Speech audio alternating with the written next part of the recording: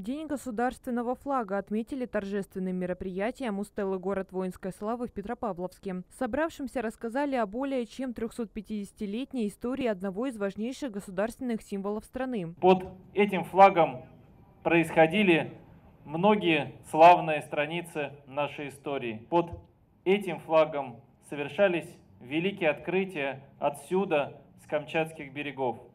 Под этим флагом одерживались великие победы. Он продолжает развиваться над нашими военными кораблями, украшает фюзеляжи самолетов.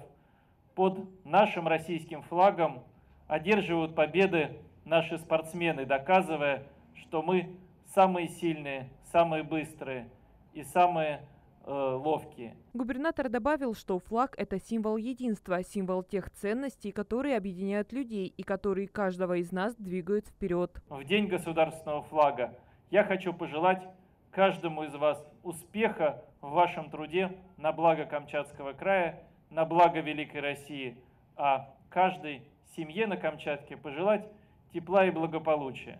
Если будет тепло в наших домах, если каждый день вы будете трудиться с уверенностью, что этот труд идет на благо всей нашей страны, тогда все у нас получится. Мы будем достойными наших великих предков и будем и в будущем гордо нести российский флаг. Добавим, первый бело-синий-красный флаг был поднят на первом русском военном корабле «Орел» в царствование Алексея Михайловича в 1668 году. 25 декабря 2000 года президент страны Владимир Путин подписал закон, в соответствии с которым государственный флаг России представляет собой прямоугольное полотнище из трех равновеликих горизонтальных полос – верхней белого, средней синего и нижней красного цвета.